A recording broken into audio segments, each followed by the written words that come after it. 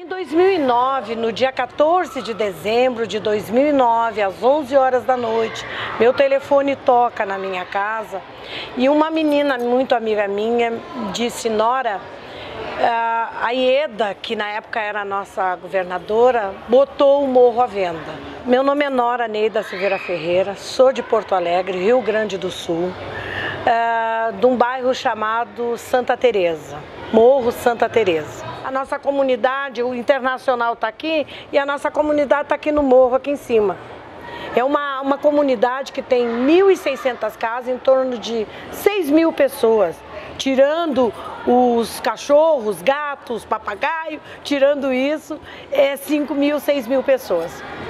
Nós reunimos muitas noites, muitos dias, tirar uma estratégia para ir para a rua, porque nós não aceitávamos a venda do morro. Ela simplesmente vendeu o morro, estava tentando vender o morro, desculpa, para várias empresas. Aí eu mobilizei toda a comunidade, todo o Morro Santa Teresa. A gente conseguiu ônibus de graça e fomos acampar na frente da Assembleia Legislativa. Todos os sindicatos de Porto Alegre nos ajudou, porque sabe que a gente é uma comunidade pobre, eles nos ajudaram com alimento para a gente poder ficar os dias inteirinho lá. Aí ela viu que ela não ia conseguir, ela fez esse pedido de urgência e era a pior coisa que ela tinha ter feito para nós era ter feito isso.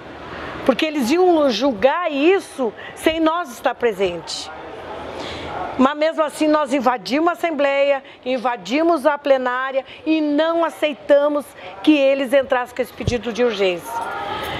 E aí a gente começou indo, fechando os pontos turísticos de Porto Alegre, fechamos a Assembleia ali, ninguém entrava, ninguém saía. Foi muita briga, foi muita briga, mas sem violência, que era sempre o que eu pedi, pedia para todo mundo, nada de violência, nada de quebra-quebra e nada de palavrão, porque eu tenho horror a palavrão.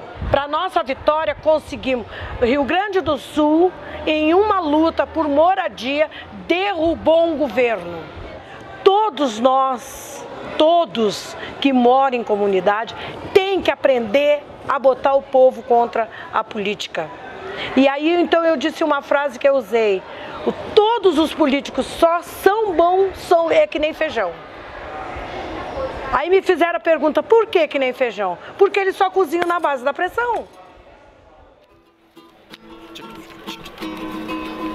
Você diz que aqui na Copa tu é dono do pedaço, que pela lei da FIFA baiana não tem espaço. Você diz que aqui na Copa tu é dono do pedaço, que pela lei da FIFA baiana não tem espaço. Você diz que aqui na Copa tu